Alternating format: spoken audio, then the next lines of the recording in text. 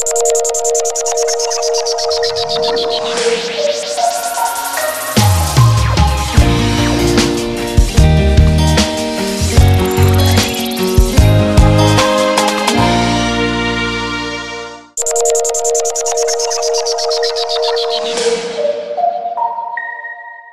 История строительства второй мечети в Нефтекамске началась в 2003 году. Тогда общиной мусульман, которая располагается в Махаля по улице Дзержинского 1Б, было принято решение расширить площадь, где могли бы собираться все верующие. Ведь места в этой двухкомнатной квартире, расположенной на первом этаже жилого дома, едва хватало для всех. Место для строительства было выбрано на пересечении улиц Социалистической и Дзержинского, однако залив фундамента организация «Башнефтепромстрой» приостановила работы. Причиной тому послужило отсутствие финансирования. С мертвой точки дело сдвинулось лишь в 2015 году. Тогда в один из летних дней в Махале собрались ряд предпринимателей города, народные избранники и представители мусульманской общины. В нашем приходе очень много молодежи ходит на намаз.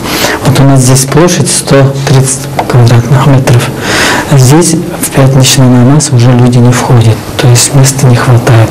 Это уже говорит о том, что назрела проблема увеличения площадей. Да Аллах, иншаллах, если построим мечеть, там разрешаются все проблемы, иншаллах.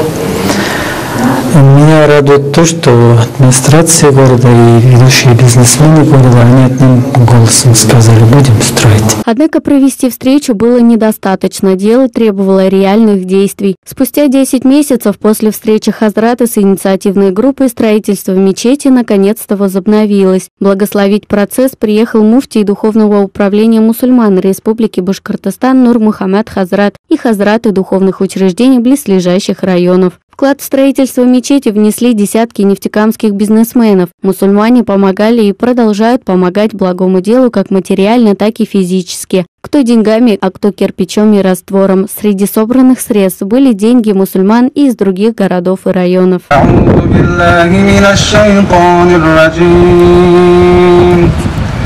بسم الله الرحمن الرحيم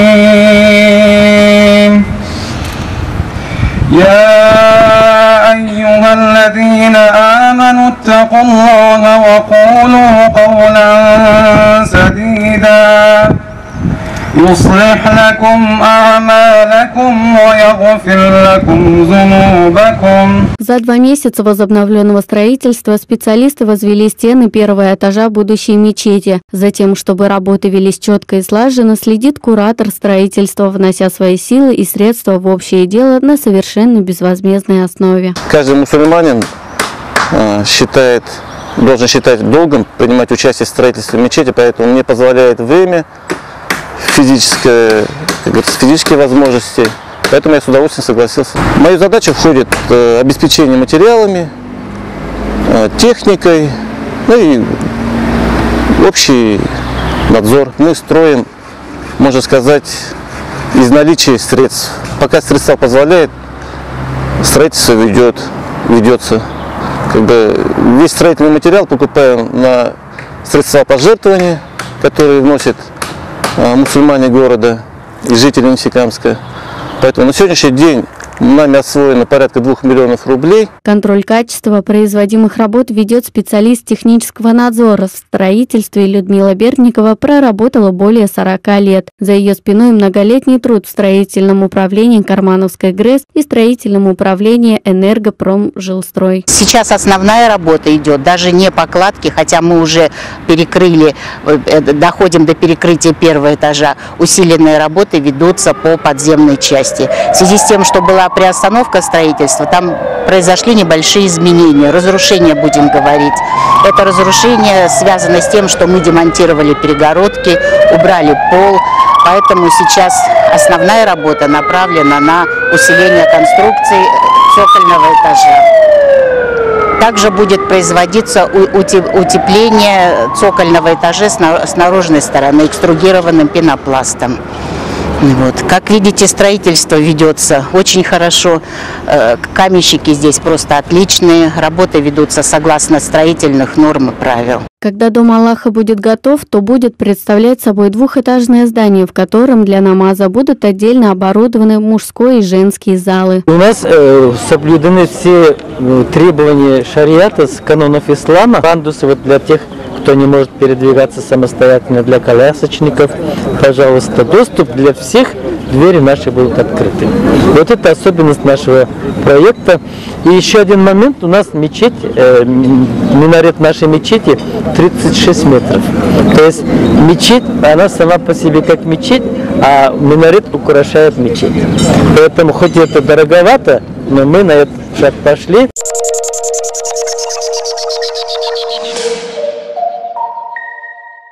Одним из тех, кто вносит посильный вклад в строительство мечети, является Нур Мухамединов. Мужчина всю свою жизнь трудился в сфере строительства газовых сетей, строил военные объекты в Татарстане, но большую часть своей жизни проработал в системе горгаза в Нефтекамске. Сейчас Нур Ахматнурович руководит своим небольшим бизнесом, но сферу деятельности так и не сменил, занимаясь проектированием схем газификации тех или иных объектов. Мужчина вспоминает, что еще с детства ему нравилось помогать людям, и при строительстве мечети он не мог остаться в стороне. Ведь ранее он уже помогал при восстановлении Свято-Троицкого храма. Такое сидит в каждом человеке. Я, я.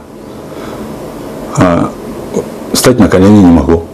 И это меня так удивило, что я, оказывается, думал, простой человек, оказывается, я тоже такой, как все. Не могу преклонить колени перед Богом даже. Не то, что перед другими людьми поклониться, подчиниться. И я все-таки смог там поклониться, и с этого у меня, наверное, началось.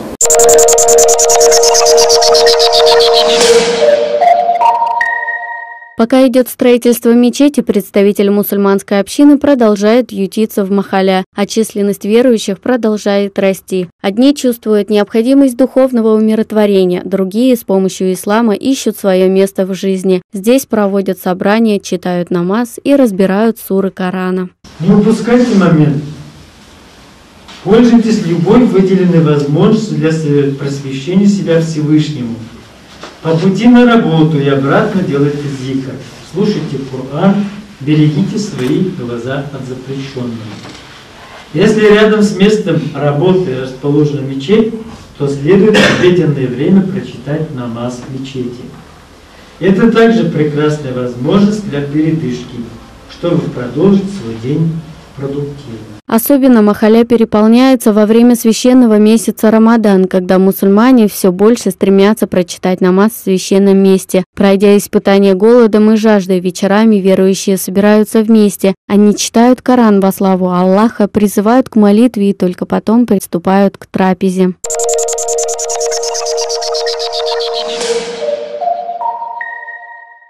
Чтобы строительство мечети на улице Дзержинского продолжалось, необходима помощь жителей. Для этого в сети магазинов «Аксарлат» установлены специальные ящики для сбора средств. Они установлены на Карла Маркса 2, Парковой 19 и в магазине на Николо-Березовском шоссе 6. Возможность внести пожертвования есть и на Дорожной 29 и в магазине по проспекту Юбилейный 4. Денежные средства, а также предложения любого рода по содействию строительству принимаются в Махаля по улице Дзержинского, 1Б.